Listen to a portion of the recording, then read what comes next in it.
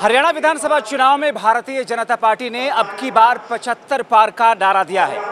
आप ये जो भीड़ देख रहे हैं, दरअसल दो दिवसीय कार्यक्रम जगत प्रकाश नड्डा का हरियाणा के रोहतक में और राष्ट्रीय कार्यकारी अध्यक्ष बनने के बाद में पहली बार वो हरियाणा पहुँचे हैं चुनावी मंत्र देने के लिए। और ऐसी स्थिति में, जैसा कि अब आप स्टेज पर देख रहे हैं मनोहर लाल खट्टर, जो कि इस वक्त स्टेज पे मौजूद हैं जगत प्रकाश नड्डा, जो कि इस वक्त स्पीच दे रहे हैं।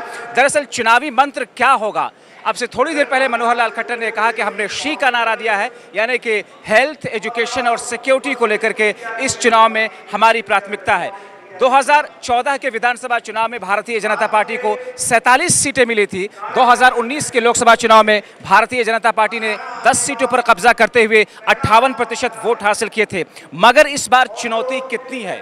और इस चुनौती को पार पाने के लिए भारतीय जनता पार्टी की जो तैयारियाँ हैं, वो ज़मीनी स्तर पर किस तौर पर उतरेंगी? ज़मीनी स्तर पर एग्जीक्यूशन उसका कैसे होगा? दो दिवसीय इस कार्यक्रम में जगत प्रकाश नड्डा मूल मंत्र देंगे, जनता को और अपने नेताओं को समझाएँगे। हरियाणा के रोहतक से कैमरा पर्सन रागिब के साथ, जबार खान आर नाइन टीवी